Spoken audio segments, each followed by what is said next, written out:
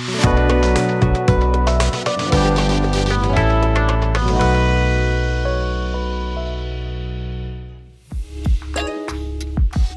friends, welcome back.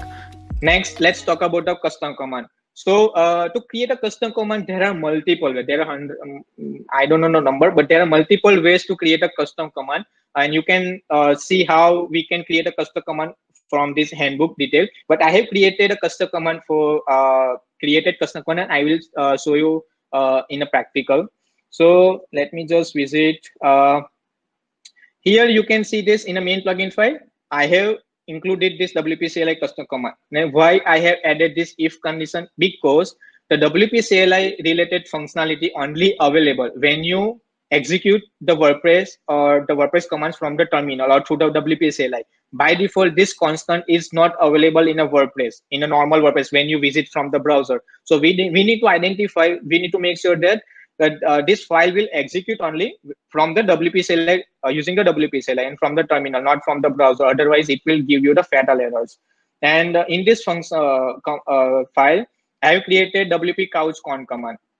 Uh, so first command is the hello, which takes some of the arguments, arguments and associated arguments. And here is the inline, using this inline comments, you can identify various options the various options with the default uh, options as well uh, and you can provide options as well. And this is the example.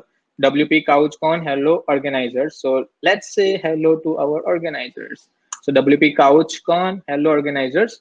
We have the simple message right it's easy way to create a custom command right? So what we i did is just that uh, uh, when uh, uh wp couchcon hello organizers execute the our hello uh, this is a function which is also your command name and you can also make some changes using the uh, add sub command uh, attribute in the inline document. You will find you you will find more about on the uh, on the handbook. But this is the hello means uh, your uh, sub command name. And here argument the organizer is the not associated argument. So it's it, it will give you an args variable and then you can just type. So if i pass type and let's say warning.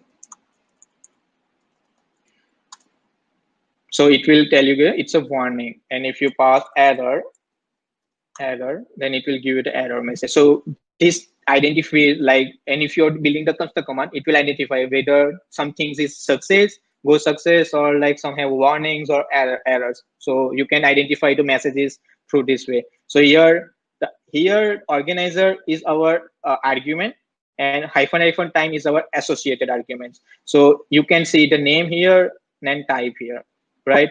And I have just simply used the dollar type means the the success warning error and the success is the uh, method name of the WP CLI class and I have just used it. And second, I have created a command about display the list of posts from the our wpcouchcon.com site.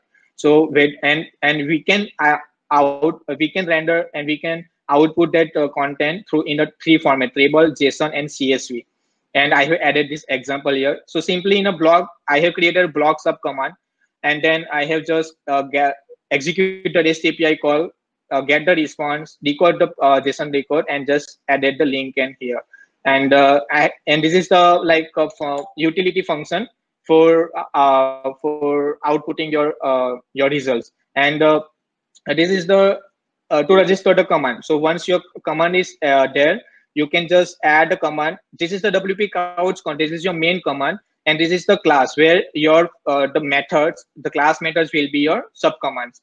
Okay, so let me just uh, execute this command.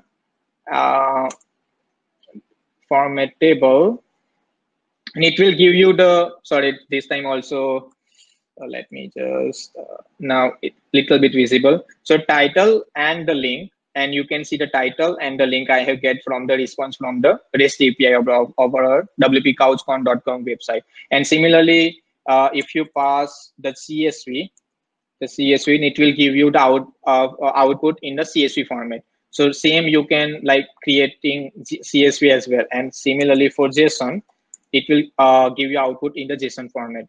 So this is just like a like a basic example on like how you can create the custom command and how you can perform your background jobs, your your migration scripts, or on using the web, uh, WP core base, you can create uh, tools like Easy Engine or any other concepts which you uh, have an idea, right? Uh, and performing the actions. So this is the like uh, custom command you have uh, to create a custom command, and I hope it's help you to understand more on that. Um, the next uh, so this is a, one of our example we have created uh, report command. So it will generate the reports of themes and plugins uh, in a multi-site environment. So uh, we have created a custom one we want the list of the 100 more than there are more, than 100 sites uh, we found in a multi-site environment and we want to know how uh, the list of the plugins and themes and which plugins have been activated on particular sites. So for that we don't uh, it, it will be the manual task like go to the wp admin network and then just go through each and every site and then list down all of the active plugins and themes. Um, but for that it's a manual right? It will be time consuming. So we have our one of my colleague had created this command called the wp report and it will report the plugins and themes based on the multi-site and uh, using uh, and also listed that uh, on this site this plugins and themes have been uh, activated or not activated. So this way we can leverage uh, or use the custom command functionality and it will help us uh, to reduce your overall development effort. We can reuse that command over and over again on many projects or, or on your freelancer clients or anything. Uh, and you can, so easily you can uh, create using the custom command, you can automate your development workflow. With, like, as a plugin or theme developer, what things you can do and whether that things can be automated through the custom command or and it help you to save the lots of time. Since like uh, to installing the work uh, installing the wordpress and set up the site in a local with less than a five minutes we can do this right? We don't need to have the uh, open the browser and do the stuff. So it's really helpful. Yeah this is all about we have see like the wp CLI provides many many uh, functionality and it's really a good friend of our uh, of developer right? But now it's time us uh, it's time for us to give giving back. Now in a giving back there are many ways for contribution. Either you can report a like report the issue on a github. You can if you already uh, some issues have been reported if you know how to fix then you can submit the patches right? But one of the most favorite contribution in my opinion is uh, helping the helping the developers helping the friends to learn about the wp cli since like i'm currently i'm doing like i'm telling you more about the wp cli right? So it's also the giving back. It's not like that uh, submitting the patch only it's a main contribution but helping others to learn the tools like not just a wp cli but the wordpress as well. It's a really good contribution right? So i hope you also if you already know the wp cli then help others and encourage uh, developers and your friends to use the WP CLI in, in their development workflow and utilize and leverage the WP CLI commands, right? So it's about giving back, and I hope uh, you also help others to to explore more about the WP CLI. And these are some references I have. Uh, I have added some handbook links, uh, the commands, uh, the built-in commands link, and some of the th useful packages I have shown about profile and doctor and one of our uh, WP CLI report command we have created for multi-site environment. So that's also I have added as a reference. So you can later on you can go and check it out.